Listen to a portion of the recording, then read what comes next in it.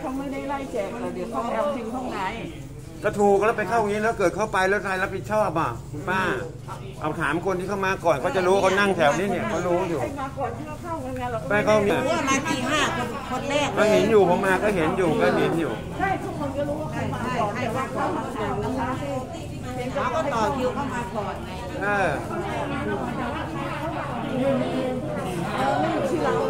แจ กได้ก็ถูกไงก็ไปให้เขาเข้าอย่างนี้เขาก็ทะเลาะกันอีกไอ้คนที่มาคนมาเนี่ยมาขั้นคนมามันก็ทะเลาะกันต่างหากว่าใครมาใช่ใช่ก็ถูกของป้าไปจับให้เขาหนีไหนเราไม่ได้อุ้ยพัฒนาได้แล้ว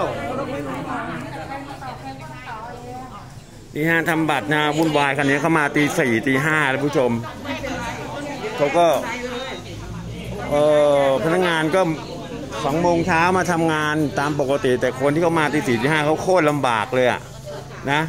ผู้ชมชมอยู่ที่ร้อยล้านวิวเนี่ยช่วยกดไลค์กดแชร์ไปทีฮะ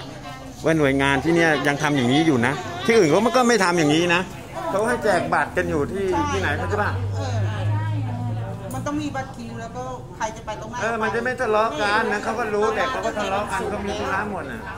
แต่เขียนไอ้นี่ให้เราเรามาวันศุกร์ใช่ไหมมันเต็มวันละสองสมมติเขาเอาแค่แปดสิบคิวเรามาเป็นสิบเอ็ดสิบเอ็ดก็ต้อง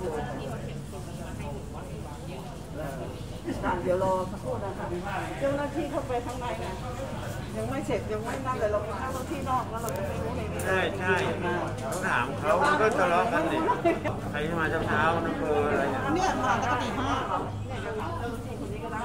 าเจ้าหน้าที่นอกเข้าใจเข้าใจถ้าเป็นอย่างนี้ยมันไม่ได้หรอกเป็นแบบนี้ทุกวันไหมใช่ก็เข้าใจเราเป็นทุกวันไหมเราจะเป็นไม่มาทุทุกกวัวันนเลยเมื่อวานก็แบบนี้แหละเมื่อวานแย่งกันเลยทีนี้เขาไม่เอาคนต่างจังหวัดเมื่อวานเขาเอาคนสุตี้ก็จะพูดจริงๆ ตอนแตะก่อนน่ะมาทยอยทยอยกันมาที่สามพยานที่เขามาเนี่ยเขาเดือดร้อนหรอกคงมาเดือดร้อนแต่ตอนนี้ใกล้เลือกตั้งก็ถึงมาทำกันโอ้ยต่างๆมันทำง่ายก็ทำสัญจรเพราะไปติดต่อราชการไปฝากธนาคารเรื่องหาบัตรประชาชนเลยใช่มันมีส่วนเออแล้วจะเอาที่ไหนให้เขา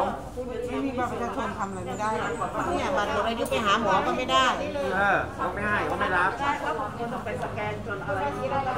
ไม่ได้ต้องทำใหม่